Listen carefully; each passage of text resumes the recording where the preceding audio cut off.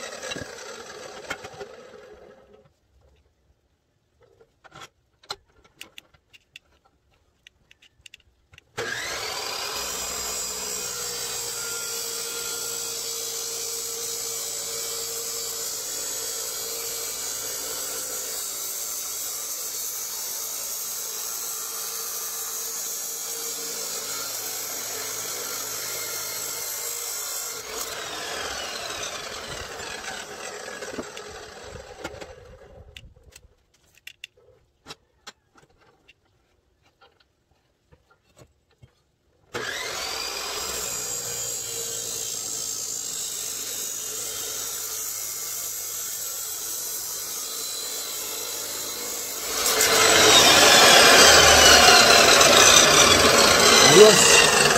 Ah, palitan ko lang. Mamaya tayo magsukat ng ano pagkatapos ng tatlo. Butterfly naman tayo, yung ating pangatlo. Try natin.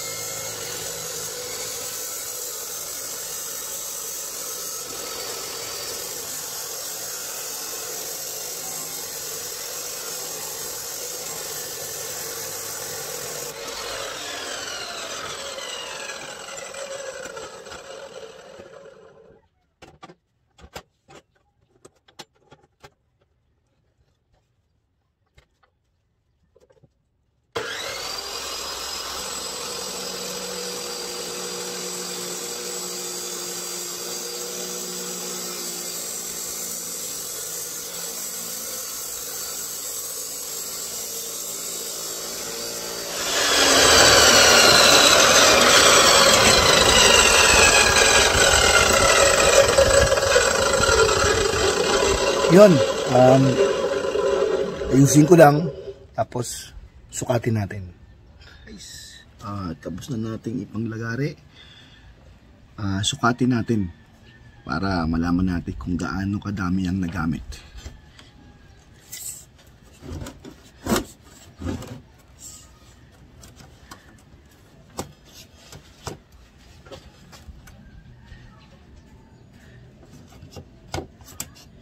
Si Inko. 353 353 353 mm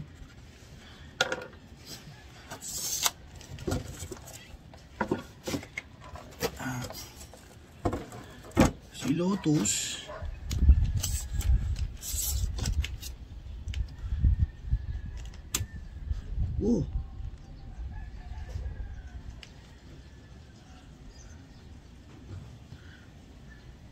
4.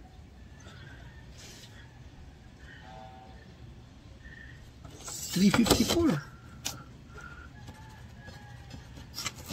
Lotus. Sea butterfly.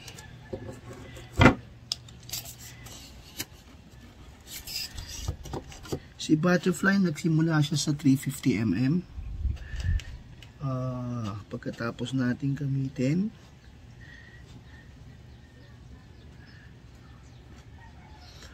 forty, fifty, one, two, fifty-eight, three, forty-five, six, seven, eight, three fifty-eight, three forty-eight.